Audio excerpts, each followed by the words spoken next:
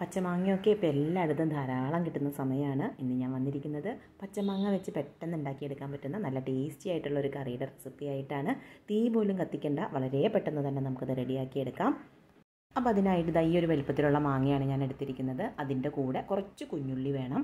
ഒരു പത്തോളം ചെറിയ ഉള്ളി ഞാൻ എടുത്തിട്ടുണ്ട്. അതിന്റെ കൂടെ നമുക്ക് എരിവിന് ആവശ്യമുള്ള പച്ചമുളക്. ഞാനിവിടെ രണ്ട് പച്ചമുളകാണ് എടുത്തിരിക്കുന്നത്.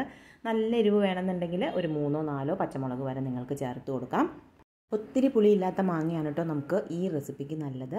ഇപ്പോൾ പുളി കൂടുതലുള്ള മാങ്ങയാണ് എന്നുണ്ടെങ്കിൽ ആ പുളി ഒന്ന് ബാലൻസ് ചെയ്യാനായിട്ട് ആ കുഞ്ഞുള്ളിയുടെ എണ്ണം കുറച്ച് കൂട്ടിയാൽ മതി. ഒരു പതിനഞ്ചോ ഇരുപതോ ഒക്കെ വരെ കുഞ്ഞുള്ളി എടുത്താൽ മതി. നമ്മൾ എടുത്തു വെച്ചിരിക്കുന്ന ചെറിയ ഉള്ളിയും അതുപോലെ തന്നെ പച്ചമുളകും ഇതുപോലെ ഞാൻ ചെറുതായിട്ട് അരിഞ്ഞെടുത്ത് വെച്ചിട്ടുണ്ട്. ഇനി നമുക്ക് ഈ മാങ്ങ ഒന്ന് ഗ്രേറ്റ് ചെയ്തെടുക്കണം. അപ്പോൾ ആദ്യം തന്നെ ഇതിന്റെ തൊണ്ടെല്ലാം ഒന്ന് കളഞ്ഞിട്ട് വേണം നമുക്കിത് ഗ്രേറ്റ് ചെയ്തെടുക്കാനായിട്ട്.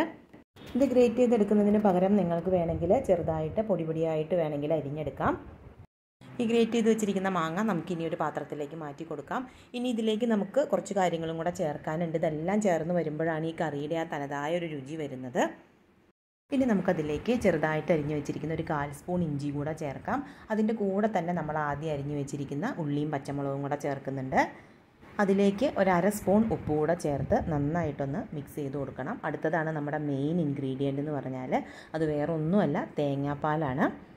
നല്ല കട്ടിയുള്ള ഒന്നാം പാൽ മാത്രമേ നമ്മൾ ഇതിനകത്തേക്ക് ചേർത്ത് കൊടുക്കുന്നുള്ളൂ. ഒരു പകുതി തേങ്ങ ഒരു അര ഗ്ലാസ് വെള്ളം ഒഴിച്ച് നന്നായിട്ട് അടിച്ച് പിഴിഞ്ഞ് ആ പാൽ മാത്രം നമ്മൾ ഇതിലേക്ക് ചേർത്ത് കൊടുത്താൽ മതി. ഇതിലേക്ക് ഞാനൊരു ചെറിയ തണ്ട് വേപ്പല കൂടെ ചേർക്കുന്നുണ്ട്. വേപ്പല കൂടെ ചേർത്ത ശേഷം നന്നായിട്ടൊന്ന് ഇളക്കി യോജിപ്പിക്കുക.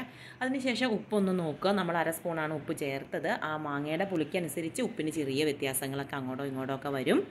ചോറിന്റെ കൂടെ ഈ ഒരു കറി മാത്രം മതി നമുക്ക്. അപ്പോൾ ഒരിക്കലെങ്കിലും ഇത് ഉണ്ടാക്കി നോക്കുക. ഒരിക്കലും ഉണ്ടാക്കിയാൽ തീർച്ചയായിട്ടും നിങ്ങളിത് വീണ്ടും വീണ്ടും ഉണ്ടാക്കുന്ന ഒരു കറിയായിരിക്കും. ഫീഡ്ബാക്ക് അറിയിക്കുക. പുതിയൊരു വെറൈറ്റി റെസിപ്പി ആയിട്ട് നമുക്ക് വീണ്ടും കാണാം. താങ്ക്